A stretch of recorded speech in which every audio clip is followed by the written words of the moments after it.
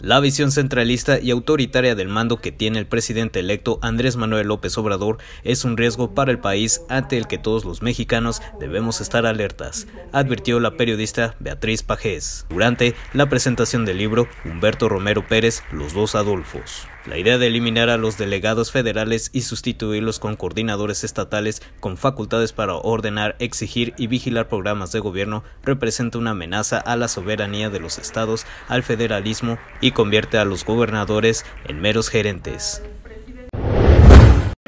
Ya sabemos que López Obrador ganó con más del 50% de la votación, pero aquí el problema es que lo que viene puede tratarse un gobierno que concentre excesivamente poder.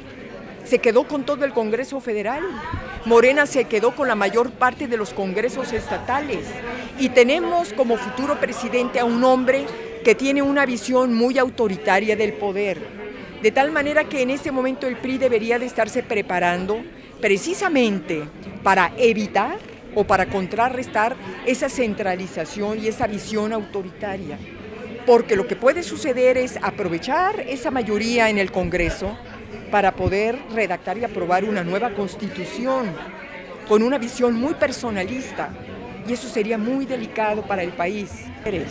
Entonces, si el PRI no existe y si tampoco existe el resto de la oposición, ¿qué va a suceder con la democracia en México? Son reflexiones que nos tenemos que hacer.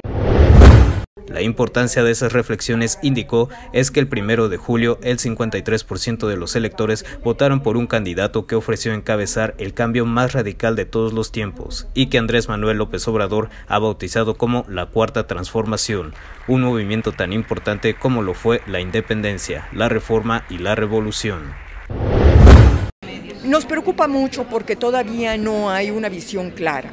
No, a pesar de que ya nombraron al coordinador de medios de comunicación eh, y que sabemos que todo va a estar concentrado, todas las decisiones en materia de política de medios va a estar concentrado en Presidencia de la República, eso a los medios nos preocupa profundamente, porque entonces, ¿qué es lo que debemos esperar? Que el próximo presidente de México diga a qué medios dar la información o a qué medios no, de acuerdo al, ánimo o a la simpatía personal del presidente con esos medios. Los medios de comunicación en México estamos acostumbrados ya a la libertad y me parece que es una conquista muy legítima que no podemos perder. De tal manera que si esta concentración va a significar un retroceso, esto es parte del serio atentado a la democracia. Mucho cuidado pero todavía estamos esperando que nos diga el próximo presidente cuál va a ser la relación con los medios. Con imágenes de Daniel Gómez e información de Rebeca Hernández, Agencia Cuadratín. Grupo de Oro presentó